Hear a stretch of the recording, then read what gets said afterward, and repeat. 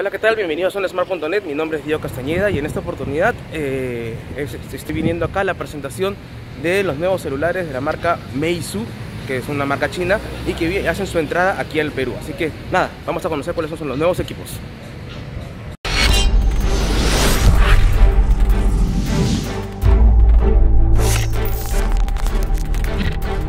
Quiero presentar eh, quiero empezar a contarles un poco más de la marca y de la historia de lo que los rodeas. Meizu es una marca que inicia operación en el 2003, eh, liderada por Jack Wang, conocido como Steven Jobs de China. En un inicio tuvo enfocado en el diseño y desarrollo de MP3, en, este, en, ese entonces muy solicitados. Los convertimos en marca número uno en ventas y líder en el mercado con estos productos.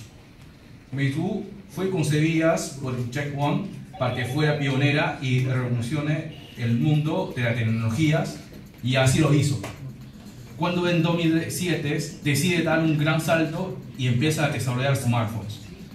El M8 eh, fue el primer celular desarrollada. El M8 fue el primer celular desarrollado por Meizu y el primer eh, en tener pantalla táctil en China. Así a través de los años hemos mantenido una cultura de constante innovación, siendo pionero en desarrollo de nuevas tecnologías. Entonces me entra al mercado peruano con tres celulares. Estamos viendo ahorita el M5C, que es una versión de gama de entrada con una pantalla de 5 pulgadas con resolución HD. En su interior vamos a encontrar un procesador de 4 núcleos que es acompañado de una memoria RAM de 2 GB y almacenamiento de 16 GB, que obviamente se puede ampliar hasta 128 con microSD. La batería es de 3000 mAh y su cámara principal es de 8 y la frontal es de 5 megapíxeles. Meizu hizo bastante hincapié en el hecho de que eh, viene con una diversidad de colores, viene con el negro, en, versión negro, rojo, azul, oro y oro rosa. A continuación tenemos el teléfono de gama media, el Meizu M6, un teléfono que trae una pantalla de 5.2 pulgadas con resolución HD y además en su interior encontramos una memoria RAM de 2 GB y 16 GB de almacenamiento interno. Eh, su batería crece un poco más, es de 3070 mAh y su cámara es de 13 megapíxeles la principal con apertura de focal de 2.0 y una frontal de 8 megapíxeles secundarias. En este, en este caso Meizu hizo hincapié en o destacó el tema de los selfies en este teléfono. Y por último tenemos el M6 Note, que es el, viene a ser el caballo de batalla de Meizu para el mercado peruano y cuya carta de presentación es la doble cámara que tiene en la parte posterior. La cámara es de 12 megapíxeles y 5 megapíxeles. Además, la frontal tiene una, un sensor de 16 megapíxeles y da para los selfies.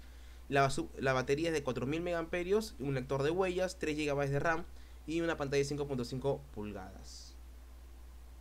Y es entonces así como Meizu hace su ingreso al mercado peruano, y no solamente al mercado peruano, sino también al mercado latinoamericano.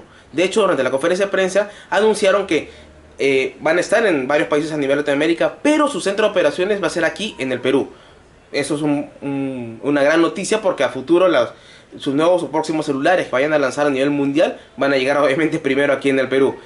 Meizu, la compañía china, entra al mercado peruano con tres celulares, el M5C, el M6 y el M6 Note, siendo el M6 Note eh, su caballito de batalla y espero obviamente en los próximos días, en las próximas semanas poder probar cada uno de esos celulares para poder llevarles a ustedes una mejor eh, apreciación, una mejor, una, mejor impresión de estos tres celulares y obviamente tengo una gran curiosidad de saber cómo funcionan esas dos, esas dos cámaras en el Meizu M6 Note.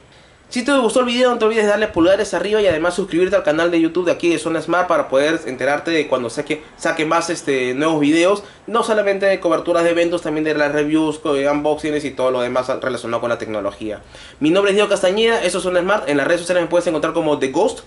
En, bueno, en Instagram como rayita abajo The Ghost. Y también sigue a las redes sociales de Zona Smart. Nos vemos hasta la próxima. Chao.